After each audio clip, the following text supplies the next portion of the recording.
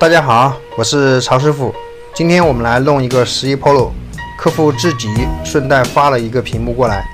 问题呢很简单，就是屏幕洗线了，要我帮他搞一下，尽量保留，就是说开机的时候没有小提示。我问他为什么不自己搞，他说怕把屏幕弄坏。你这个家伙呀，其实弄这个东西说好弄也好弄，说难弄也难弄。关键是细节。今天这个视频我给大家展现的非常清楚，并且详细，仔细看一定会对你有所帮助。你们可能也发现我又好长时间没更新视频了。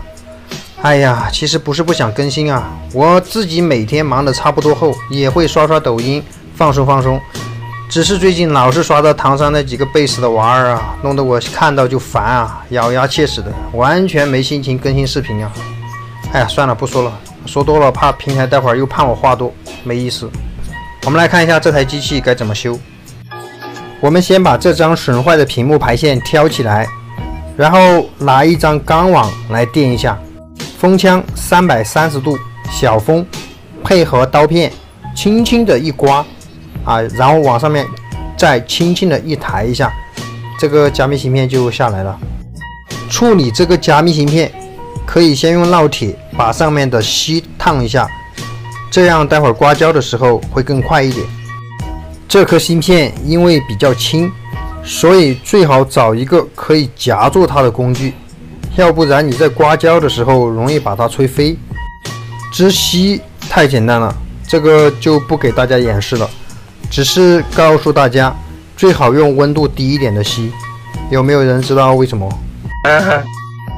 客户发来的屏幕，最好先试一下灵敏度呀，还有就是有没有断触之类的。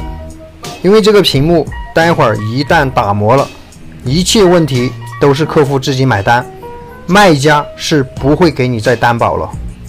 来到设置里面。我们可以看到，虽然是原装屏幕，但系统一样会有提示，所以才会有那么多有强迫症的老铁，为了消除这个开机小提示，花天价去售后部维修。说到底，还是兜里比较富裕一点。打磨这块 IC 的时候，最好用高温胶把周围保护一下，然后一层一层的慢慢往下打磨。刚开始打磨的时候，你只要不磨偏。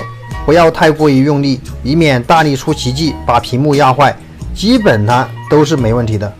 磨到哪种程度就可以了呢？我给大家看一下。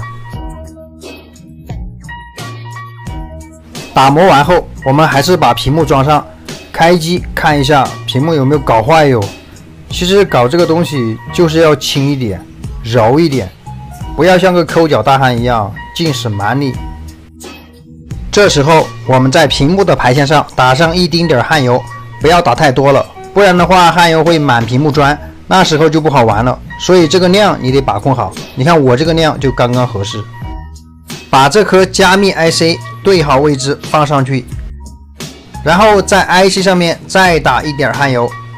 这样做的好处就是，一方面保护着这颗加密芯片，另一方面呢也起到传递热量的作用。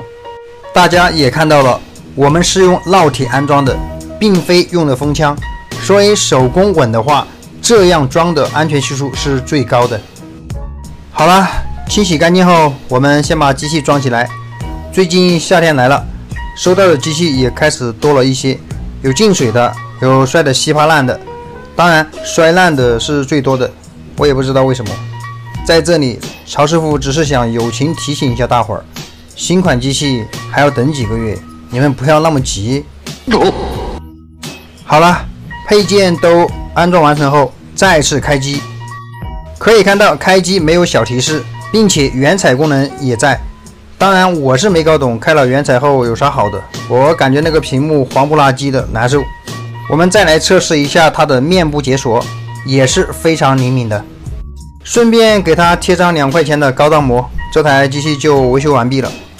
所以看完后你们都学会了吗？没有的话，评论区给个地址，我晚上亲自上门来教你们。